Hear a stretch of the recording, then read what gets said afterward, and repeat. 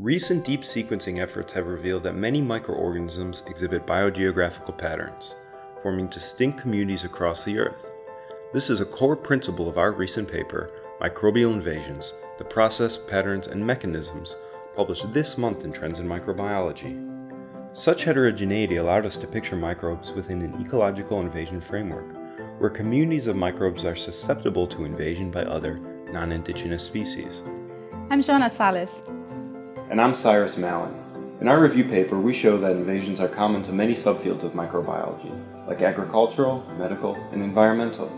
For instance, an invasion can be classified as contracting an infection, the application of biofertilizers, or even the use of bacterial probiotics. Common to all of these examples is the introduction of a microorganism that is transported into a new environment or community where it's never before existed. By analyzing such studies, we were able to piece together a larger story, and in our paper, we show how invasions appear to follow a universal process that's defined by the introduction, establishment, growth and spread, and impact of an invader. So, to illustrate this process, let's take a case study that we examine in our review. We'll need a cow, the land it lives upon, and the bacterium Escherichia coli. E. coli is a harmless commensal to many vertebrates, and it's frequently introduced into the soil by way of fecal shedding, and this begins the first phase of invasion introduction. In order for E. coli to continue its lineage and persist over evolutionary time, it has to get taken up by a new host, perhaps by surviving long enough in the soil so that it can get into the food supply.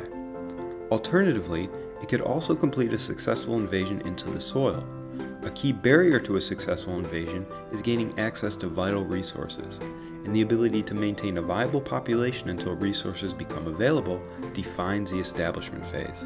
If E. coli's population does not become extinct in the soil, any kind of disturbance, like a sudden increase of temperature or rainfall, may cause an influx of resources, and this may allow E. coli to grow. By growing and spreading, it enters the third phase of the framework, and has therefore successfully invaded this new environment. This growth leads us to the last phase, the impact, during which the invader might affect the resident community, for instance, by displacing indigenous microbial species. In our review, we examine each phase of the invasion process in more detail, and we weave what we know so far about this phenomenon into the current microbiological and ecological theory. Switching gears, the latter part of our review focuses on the patterns and the mechanisms of microbial invasions. We were able to reveal a general pattern where resident communities with high levels of microbial diversity better resisted invasion than those that were less diverse. This is called the diversity invasion effect. The mechanism behind this effect relies on the fact that more diverse communities better exploit available resources than less diverse communities. The resulting low level of resources in highly diverse communities makes the possibility of invasion very low. However, should resources become available, say perhaps due to some kind of disturbance, the chance of invasion will again increase. The value of these new concepts is that they offer a promising framework to improve many practical applications like biofertilizers and probiotics, because the survival and effectiveness of such agents is often compromised by the high diversity of the natural microbial communities found in the environments they are introduced.